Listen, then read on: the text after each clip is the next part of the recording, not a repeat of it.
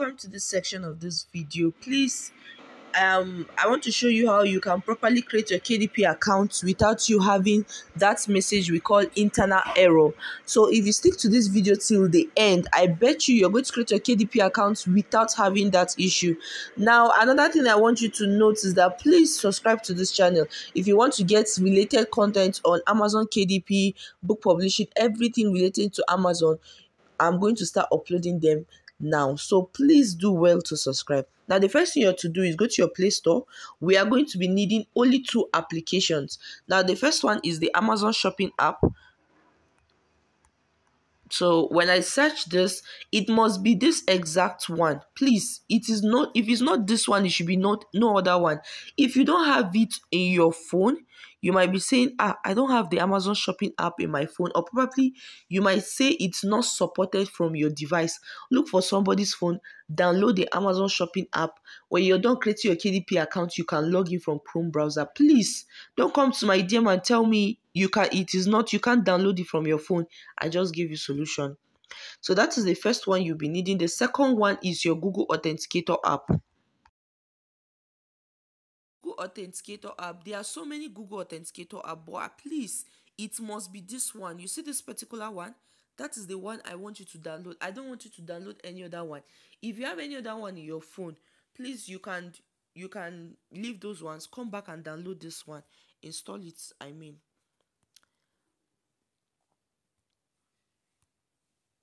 Now, this is the Amazon shopping app. I just clicked on it.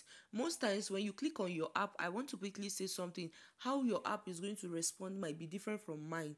What do I mean? Most times when you click on your app, it will just start from there immediately. Your own might not start from here, but if your, your own start from here, click on done. Don't click on anything, just click on done. It will bring you to this part. Let it load. It will bring you to this particular page. Now, because we are creating an Amazon KDP account from scratch, click on new to amazon.com, create an account. All right, so I had to quickly switch um device. I had to use my second phone because um after recording the other part, I discovered that Amazon does not allow screen record. Now, the first thing I'm going to do here is I'm going to put in my name. Please put in your correct details like your real name.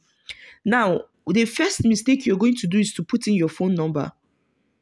Do not put your phone number. Please, I beg you, use your email. Do not put in your phone number. Use your email, even if it's your personal email. Whichever email you use, use it.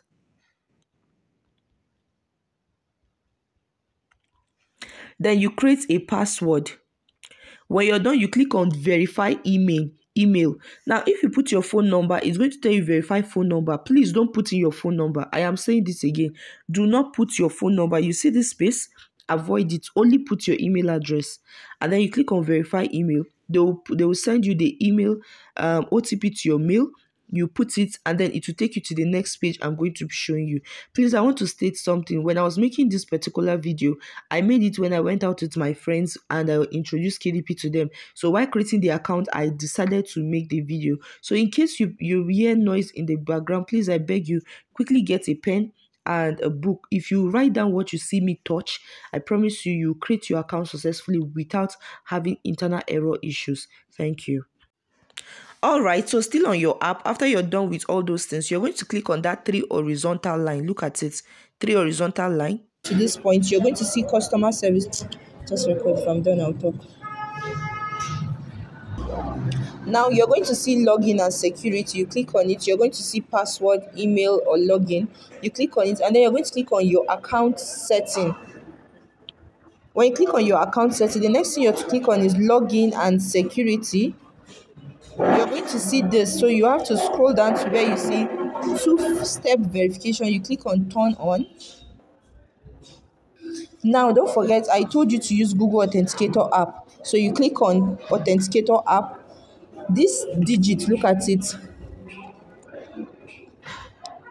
We are going to use this digit. It's 32 in number. This is the digit you are going to copy and take to your google authenticator app so please, I've shown you how to download Google Authenticator app. It must be this particular app, um, app, please. This particular app. This one, but Yes, then you click on install. Now, when you open your Google Authenticator app, this is how it looks like. So you click on get started. now you just continue with your email address the email you have you continue and then you click on this plus icon look at it here click on it then click on enter a setup key and then you put in i showed you a 32 digit code but the first thing just put in any name. So i can choose to put in let me say amazon because anytime i want to get otp i should remember that this is amazon otp right? Now that's 32 digit code i showed you to copy now this is where i'm going to put it. And then i'm going to click on add. And this is the otp here. Can you see it? Now i'm going to long press on this otp once you long press on it you have copied it. Once you long press on it you have copied. Can you see that it changed so i'm going to come over here and i'm going to paste that otp here. I'm going to paste it here. Most times if you allow this page to load up you might come back having issues. So please make sure you don't let it to load up. Now you're going to see this almost here it want to ask you do you want to require otp on this browser? Please don't tick it. Click on don't require otp on this browser. What does this do is that anytime you want to log in from the app it will not be asking you for otp from google authenticator app. Now you click on now the next thing you click on is got it and then you move so you just click on this and it will bring you to this page. You can see now that your two-factor authenticator it has been set up and you have successfully created your kdp account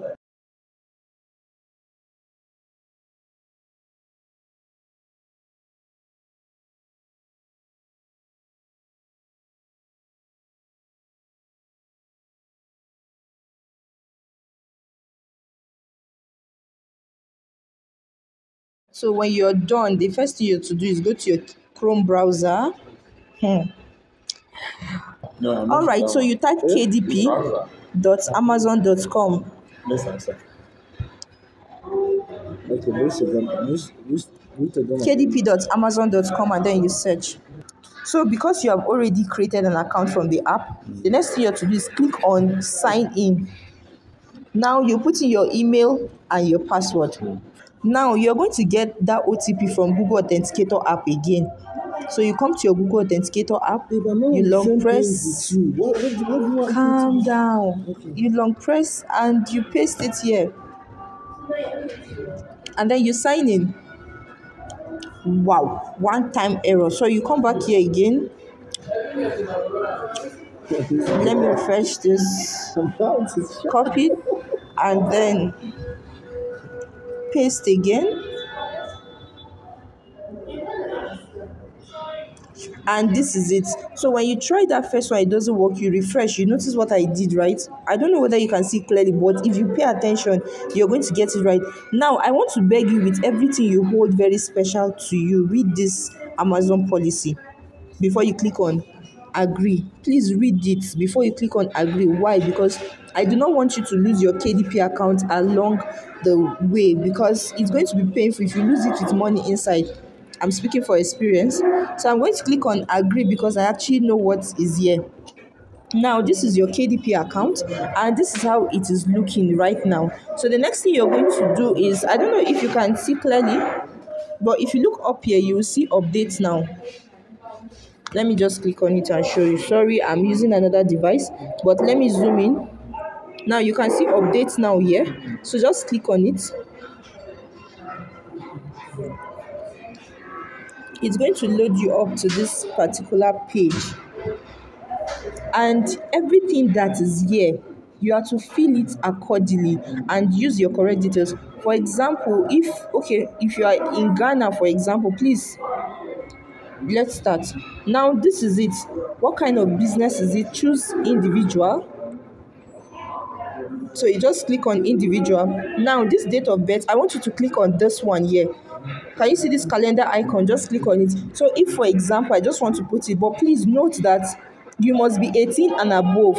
So if you're not up to 18 please get someone's detail that is above 18 and use from 18 and above. So if for example let's say i want to work with mm, so that people will not know my age. So they gave birth to me 2010 august first thank you that's my birth month all right uh, you see i'm not up to 18 i'm pretty sure they give birth to me in the 80s so let me look for you guys know that I'm actually not a small girl, right? So you guys should respect me. Thank you. All right, so this is it. 1977. Ha. All right, so now your country. If you are in Ghana, please come over here. Where do you live? You just see this place. Now put Ghana. It will come out this way. Click on it. Don't type it. You see it. You click on it. If you are in Cameroon, you do the same. Cameroon you do the same now because i'm in nigeria please i'm doing this for the sake of my ghana and cameroon students so that they don't feel i'm only attending to nigerian students now for you in nigeria you click you type nigeria it will come out like this and then you click on it now for my students that are in us as usual you do the same i'm i might not call all of you but please your country just type it and it will show so let me work with nigeria. Now your legal name is your real name. My name is Sunday Amarachi. That is your legal name, please. So I'll just put that. Now your address, please, it should be your correct details, please. Just put something. Your home address or street address you just put it. Now this address line two is optional. The city i'm in just my state plateau state now this postal code you might be asking how do i do this one? You simply come over to your your any part any of your browser or just your um your google and type postal code. If you're in lagos put postal code. You see this one is postal code just it just pop up. I can pick anyone. Now if you're in lagos you put postal code in lagos. The particular place where you are in lagos you can just put it probably for example if you are in ikoyi you just choose it that way now, for those of you in Cameroon, you agree with me that you do not have postal codes. So I would just advise you just picking any code here and putting it's actually not that important. But just put it for those of you in Cameroon, Ghana, I do not I do not have idea because I've not tried creating account for a Ghanaian. So I don't know. But I think you can also Google that. So I will just put in because I actually have my postal code offered. I'm just going to put that. Ah. So you put in your postal code. So for me now, I know my own 930105. So I'll put that your phone number. Now this is the format by which you're going to put your phone number. For those of you in Ghana, plus 223, then you put in your number, right? Cameroon plus 2 plus 237 like that. US plus 1. You know, you put it like that. So for Nigerians, you do this way. I'm just using this, please. I've not put in everything. All right, completely. so you are and then going when to you're see done, um add a you just come here now and check save the your description work. of this video. I'm going to drop a icon. link on how now, to most times you might tell me it's not saving. Now, Sometimes you might come here and I'm tell me going show to you drop um, country unsupported. for you to click Please ignore. Now, whatever of message you you in Ghana, see here. Please check the Telegram. Thank you.